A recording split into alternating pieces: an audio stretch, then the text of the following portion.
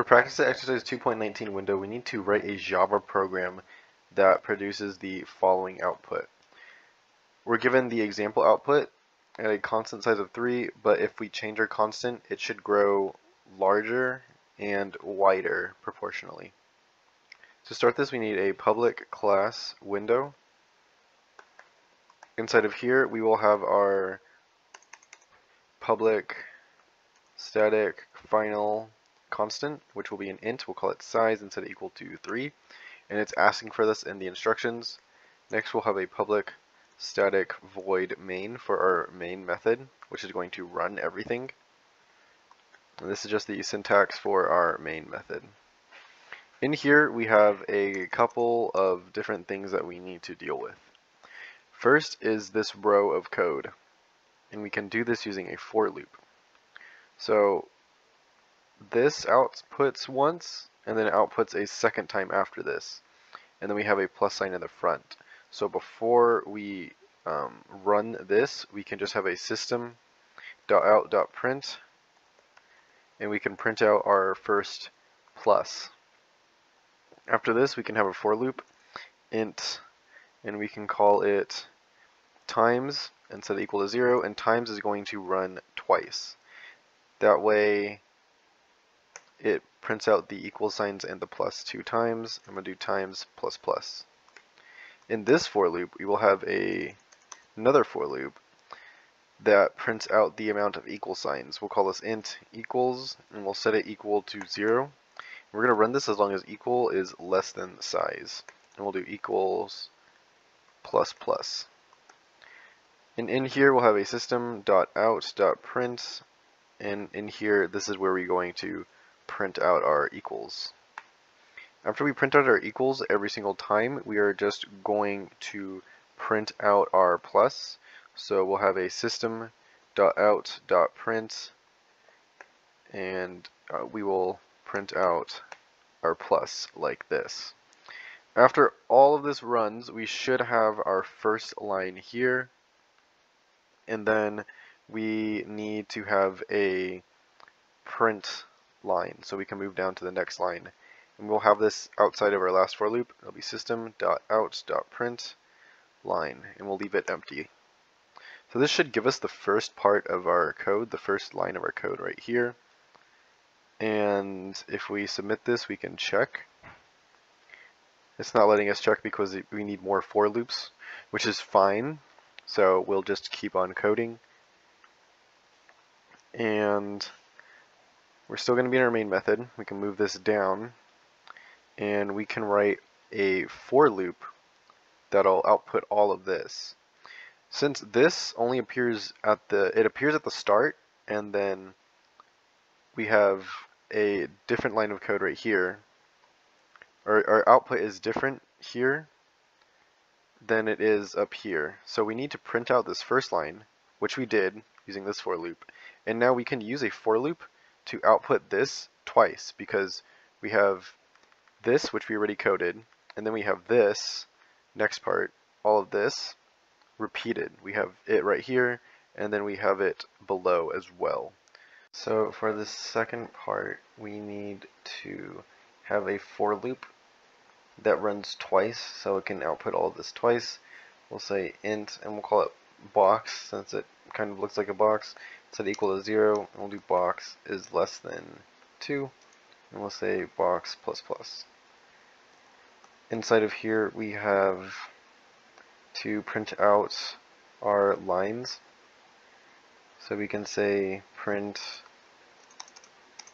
like this, and then next we will have our print, then we'll have our plus equals, plus equals, plus. In this first part, we need a for loop because the size determines how many rows that we have.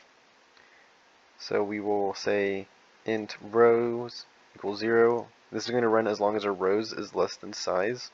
We'll do rows plus plus. In here, we need to have a line, so we'll do system dot out dot print, and then we will print our vertical line like this, and then after this we need a for loop for our spacing. we'll call this space, and our spacing d is d is dependent on how many um, the how or how big the size is. So we'll have a space has to be less than size, and we'll do space plus plus.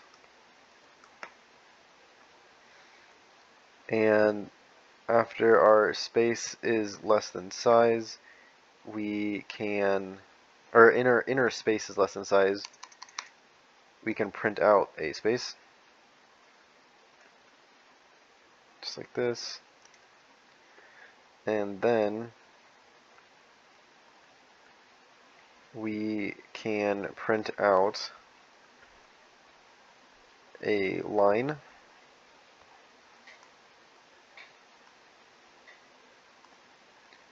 just like that.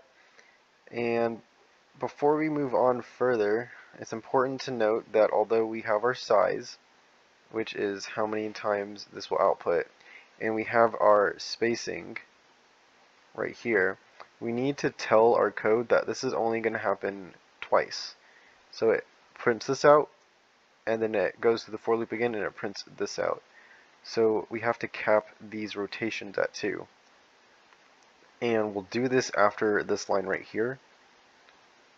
So we will indent this, and we'll say for int, and we'll call this runs because it'll run this side and then it'll run again and we have to cap this at 2 so we'll say runs has to be less than 2 and then we runs plus plus and then you'll have a bracket that closes after this. And after we do run one run, we'll have a system.out.print statement. Actually, it's going to be a print line, so that way it gives us a new line. So far, um, going over all of this, we have our int rows equaling 0, and rows has to be less than size. In our rows is all of this, Next we have our spacing, or actually we have a, then we print out a line right here. And then next we have how many times this next part will run, which will be twice. And then we have our spacing. So we print out our spacing.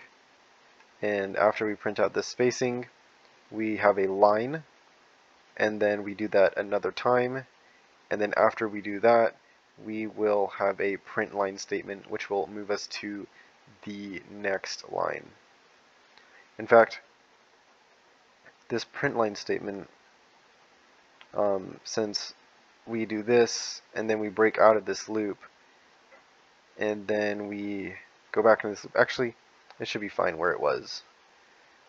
And after this, we need to start printing our um, plus equals plus equals and we can actually just copy this from here, since it's going to be the same exact code, and paste it right here.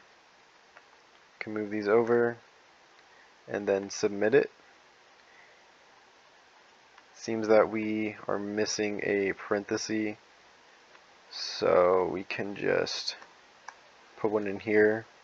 We need to make sure we initialize this to zero. Submit it again. We can see that we have passed all of the tests.